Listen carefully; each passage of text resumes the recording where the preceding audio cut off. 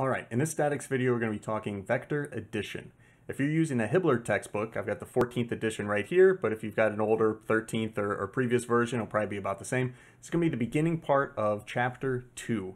We're talking coplanar forces, uh, Cartesian coordinates, Cartesian vectors. Uh, if you see any of those keywords, that's going to be the topic of this video. Specifically, we're going to be talking about example problems like this one, where you have multiple forces uh, and their magnitudes and angles are all known and then you're asked to add them together and find the resultant force that is the result of vector addition. The best path to solving these problems is going to be to take each of your individual forces, convert them into Cartesian form, or find their component vectors, then do the addition, and then at the very end, you'll do a Pythagorean theorem and an inverse tangent to convert that back to a force and angle.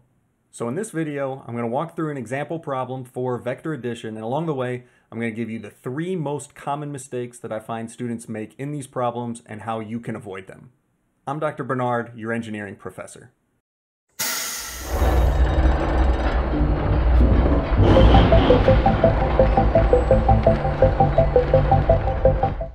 So I'll start with FA, uh, which is going to be the, the easy, kind of straightforward, basic one. Right, so FAX is going to be FA cosine theta. And then the y direction, FA sine theta.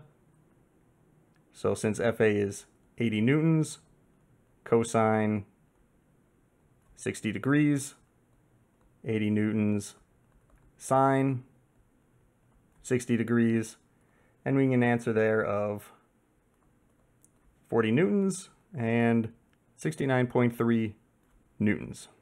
Okay, so let's move on to force B. Force B in the x direction. I'm going to start off and show the common mistakes. This is going to be mistake number one, right? So x direction cosine theta, y direction sine theta, 200 cosine 50 degrees, 200 sine 50 degrees. And let me go ahead and put a kind of a big red X there. Right, so this was the first mistake. The reason that this is a mistake is that, you know, this equation here, f cosine theta and f sine theta, those don't always apply. And in fact, I might even recommend that you don't actually write that down in your notes, that fx equals f cosine theta, because it's not always true. So fx equals f cosine theta is true only when your angle is measured to the positive x-axis. And so looking back at the original drawing, this x-axis, right, this 60 degree angle was measured to the positive x-axis, so that's why it worked for FA. It doesn't work for FB because the 50 degree angle is actually measured up here, right, to the y-axis.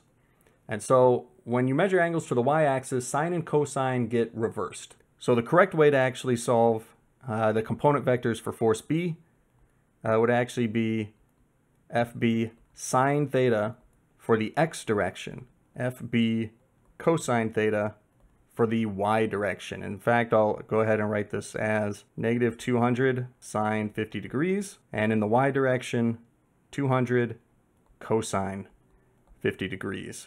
So one thing that I want to point out is I did insert an extra negative sign in there for negative 200. The way you avoid this mistake, this f, you know, f cosine theta or f sine theta, the way you avoid making that mistake is to actually think of this as a triangle. So don't try to memorize a formula. Look at this as a triangle and just do the trigonometry each time manually. So for this FB triangle, I'll draw in blue up here on the drawing, right? Just look at actually doing the trigonometry for that triangle and think to yourself which side is the opposite side, which side is the adjacent side. For that 50 degrees, you can clearly see that for that triangle, the adjacent side is the y-axis, right? Vertical. So that's why cosine theta is for vertical. The horizontal side is the opposite. Um, so that's why the sine, right, is opposite is going to be the x direction. As far as the negative signs, that's just based on whether it's going left or right. So I inserted a negative sign because FB is going left. I used a positive for the y direction because it's going up. And so again, the way that you get your signs correct, right, positive or negative, and the way you get cosine versus sine correct is to not try to memorize an equation for this. Don't just memorize f cosine theta, f sine theta. Uh, look at each of these as their own individual triangle. Each force, each diagonal force vector is the hypotenuse of a triangle, and then do the trigonometry by hand each time. All right, so let me scroll down the page a little bit and get some more room so we can work now on uh, force C. So I'm going to start off here again with the mistake. So here is mistake number two. So FCX equals FC cosine 12 thirteenths and FCY equals negative FC sine 5 over 13. So again, let me go ahead and put a big red X through this. So this is common mistake number two. That 5, 12, 13 triangle is meant to be used with similar triangles not with sine and cosine. When I see this mistake happening, when I see a student use a similar triangle and sine or cosine together like this, um, this really worries me. So the first mistake about just mixing up sine and cosine when an angle goes to the y-axis, that's usually just a careless mistake by a student who often understands it's just easy to make on accident. Uh, this is a mistake, though. This number two is a mistake that nobody makes on accident. It, it really exposes a fundamental misunderstanding of triangles, of, of uh, trigonometry and similar triangles. And this really is a case where students only make this when they're just trying to memorize the equations. They're just trying to learn how to solve the problem without actually understanding why solutions work or when to apply certain equations. Um, so if you find yourself making this mistake where you do cosine of one of these similar triangle fractions, uh, I highly recommend you visit your peer tutoring center, talk to your professor, talk to someone else. This is kind of a warning sign for me. This is normally something I see from students who end up failing the class. Um, this kind of shows a, a, fundamental misunderstanding, and it's not too late. If you catch it early, if you recognize that you're struggling with those triangles, right, I think this mistake is probably the most egregious of the three that I'm going to mention. So if you find yourself making this mistake, get some help and do some practice. Just go to your peer tutoring center and ask them to draw 20 different right triangles and just solve for different lengths and angles on those triangles. Just get really used to doing the trigonometry again. It might be something you haven't done in a while. And that'll be a way to, to actually understand you know, how to actually solve these problems instead of just trying to memorize an equation, which is going to result in misapplying it in this way. So let me actually scroll down and get some more space so I can show how this similar triangle is actually meant to work, right? So that's the triangle you're given, 5, 12, 13. And then we're also given that hypotenuse there, right, of 65. And we're looking for that vertical component and this x component.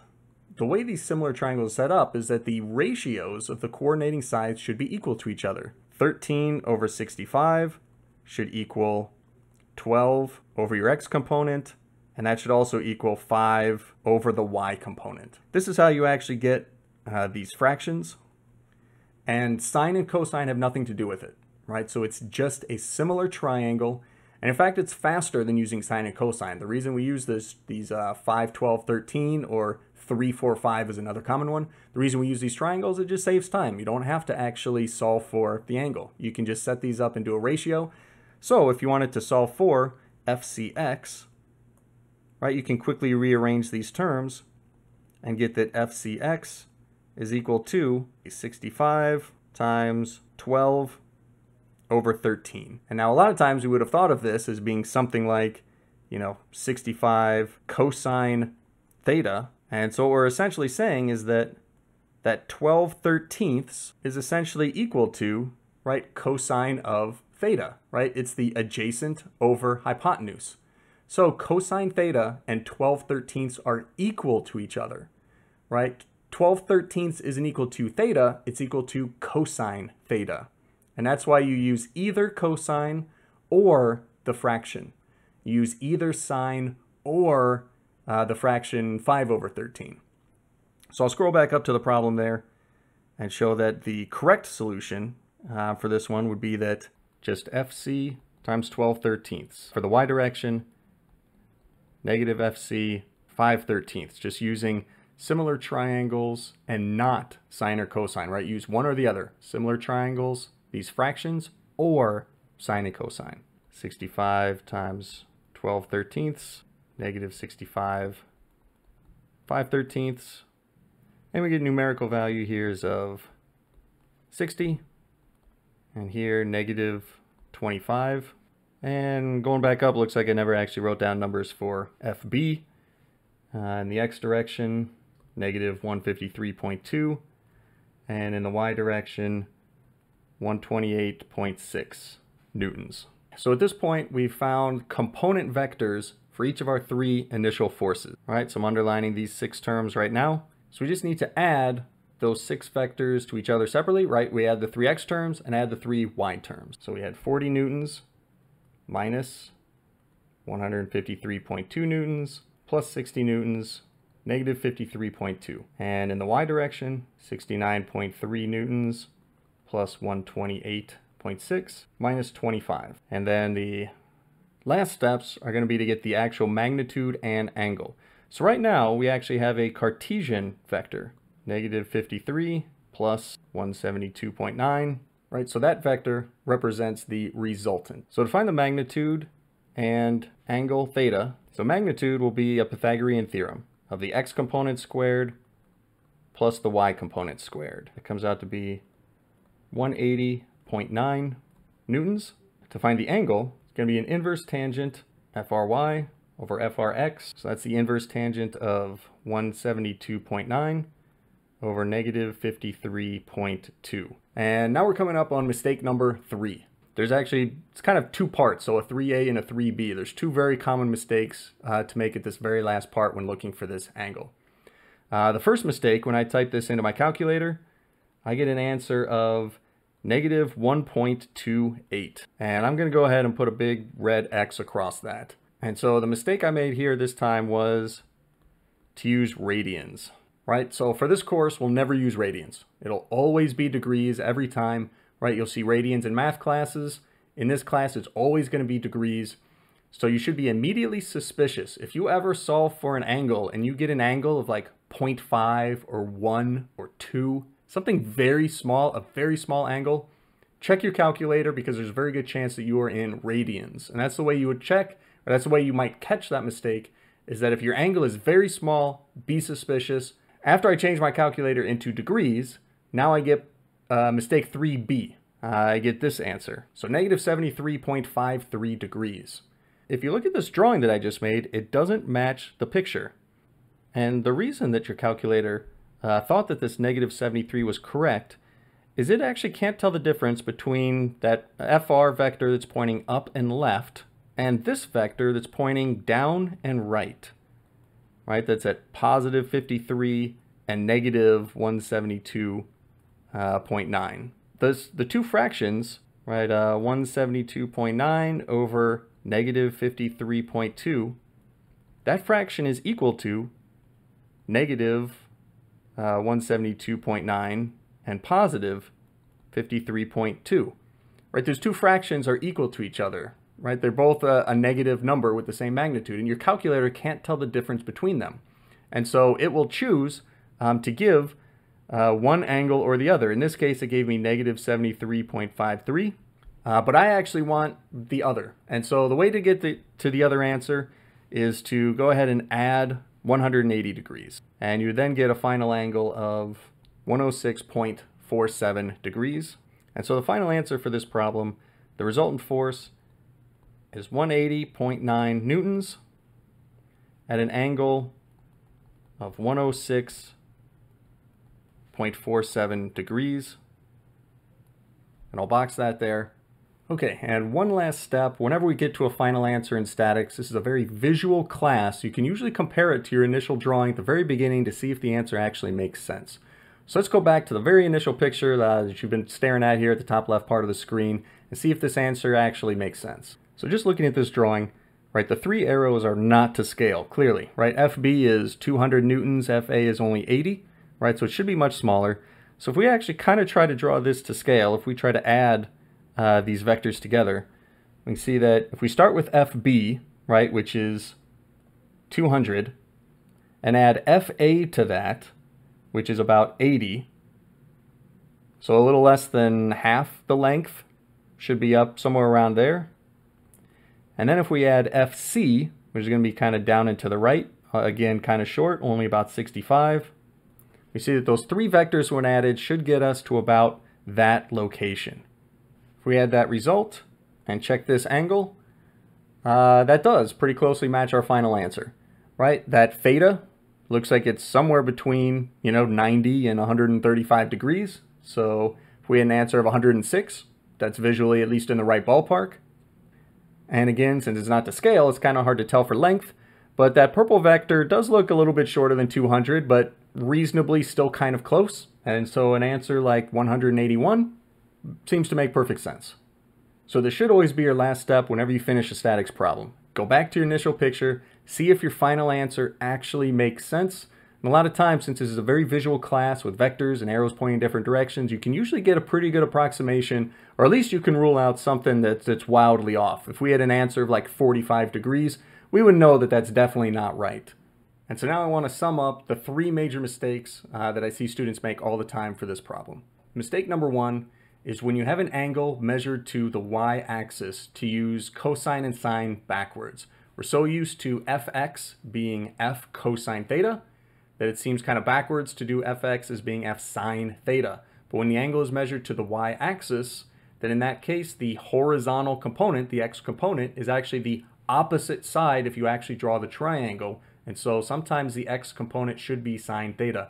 So the way you avoid this mistake is to actually draw the triangle on your drawing and use uh, the SOHCAHTOA, right? If you like the opposite over hypotenuse, adjacent over hypotenuse, if you like that memory aid, right? Just actually think, is this side the adjacent or the opposite side? And that will help you always get your sine and cosine correct. Don't just memorize f equals uh, fx equals f cosine theta, right? It's not always the case.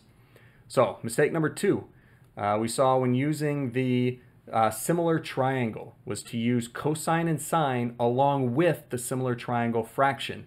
Again, of these three mistakes, in my mind, this is the most serious one because this is usually how I can identify a student that's just trying to memorize the equations and figure out which equation will apply to which problem, but shows that they don't really understand how to use the equations. And the third mistake came when trying to get to the final answer. When going back to magnitude and angle, it's a calculator mistake. This mistake uh, kind of came in two parts. The first was to use radians instead of degrees, and then the second was to use the angle that is 180 degrees off of the actual angle that you want. And so the way to recognize this mistake is to do a little bit of graphical um, vector addition, right? To actually draw your vectors on your plot and show when you have your Cartesian form, actually draw that you know, in this case, my vector was going left and up. And then when I got my final answer that was negative 73 degrees, that's down and right. I knew that answer had to be wrong because it didn't match the drawing. And when that comes up, then it's very easy. Just add 180 degrees to your angle, and then you can get to the correct answer. So uh, refer back to your drawing. That's the way to fix mistake number three. If this video has been helpful to you, go ahead and hit the thumbs up button. Uh, during this semester, fall 2020, I'm going to be uploading videos for statics, thermodynamics, and then later in the semester, around October, November, I'll also be doing fluid mechanics. So if you're interested in videos for either more statics or in thermo or fluids, go ahead and subscribe to this channel also. That way you'll be able to see each new video as they come out.